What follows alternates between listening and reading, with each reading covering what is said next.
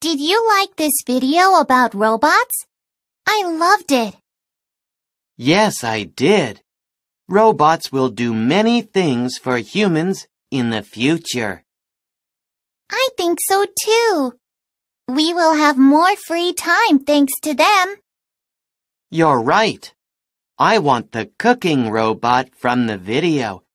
It will cook lots of delicious food for me. That sounds great. I want a cleaning robot Why do you want a cleaning robot? because I can save time. It will clean my room every day. That's nice.